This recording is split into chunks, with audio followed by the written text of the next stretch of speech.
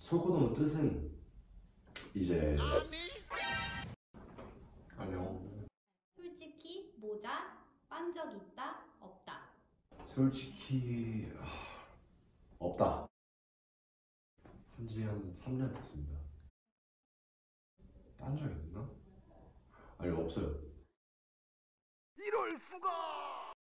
그리고 또 제가 산 곳은 이제 샵이라고 되게 재밌는 거 많이 파는 곳인데 거기서도 팝니다.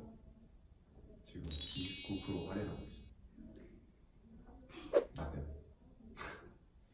고글은 이제 또 인터넷 샀어요. 6천 원 주고 샀는데 마켓에서 어 소코도모 뜻은 이제 South Korean 그래가지고 그두 글자에 따가지고 놔둬가지고 소콘데요. 그다음에 거기다가 일본어로 코도모가 어린이라는 뜻이거든요 그러면 이제 제가 이렇게 소코도모 이렇게 만들었습니다. 네, 그렇게 해서 어, South Korean 코도모인데 그거 붙여서 소코도모 그래서 뜻은 한국 어린이.